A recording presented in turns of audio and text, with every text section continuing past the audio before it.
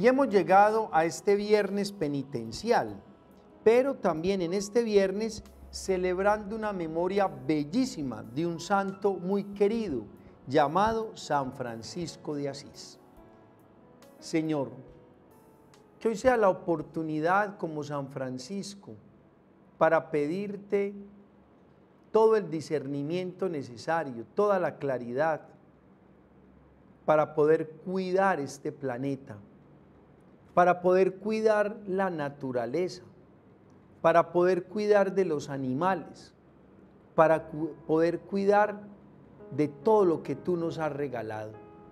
Como San Francisco de Asís, queremos hacernos amigos de lo creado.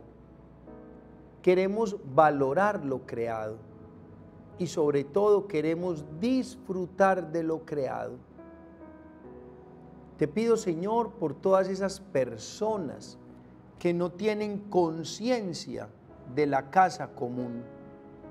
Te pido, Señor, por todas esas personas que no valoran la vida, que no valoran este universo en el que vivimos. Que a partir de esta memoria de San Francisco de Asís, tomemos conciencia del valor del planeta. Amén.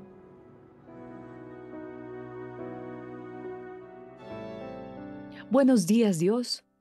Tú estás anunciando otro día, intacto y nuevo. Así que aquí estoy para pedirte, Dios mío, que me renueves también. Perdona los muchos errores que cometí ayer y déjame intentarlo de nuevo, querido Dios, y así para caminar más cerca en tu camino.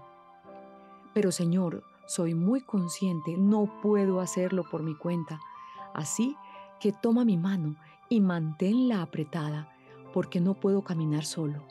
Por el santísimo nombre de Jesús. Amén. Y sigamos por este recorrido tan bonito en el libro de Job, hoy en el capítulo 38, versículos del 1 al 5. Entonces el Señor respondió a Job desde la tormenta, ¿quién es ese que pone en duda mi providencia? Con palabras sin sentido.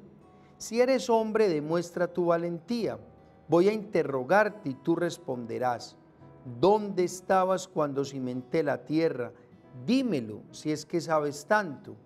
¿Quién señaló sus dimensiones si lo sabes?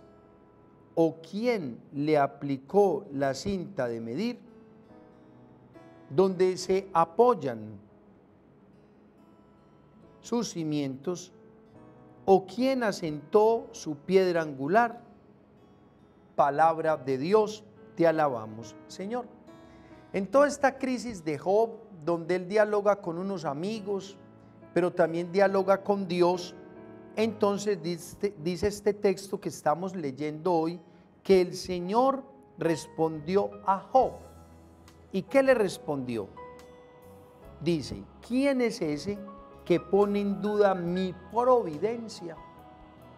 No pongas en duda la providencia de Dios. Dios no nos deja solos. Dios nos acompaña. Dios sabe qué necesitamos. Dios se interesa por nosotros. Por eso, hoy vamos a aprender algo.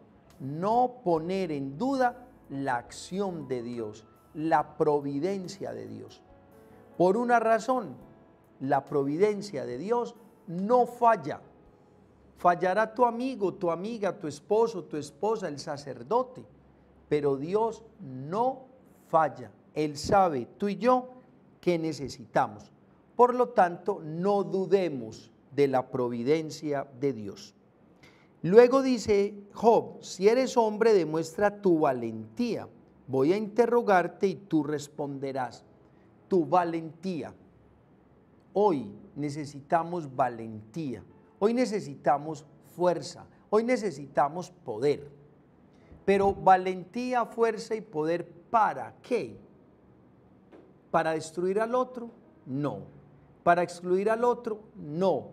¿Para señalar al otro? No. Entonces, ¿para qué fuerza y valentía? Poder. Respuesta, para hacer el bien. Porque para eso estamos diseñados para hacer el bien y no para hacer el mal. Por eso no utilices tus fuerzas, tu valentía y tu poder para hacer el mal, sino para hacer el bien. Te quiero mucho. Nos vemos mañana si Dios quiere en el nombre del Padre, del Hijo, del Espíritu Santo. Amén. Feliz y santo día para todos.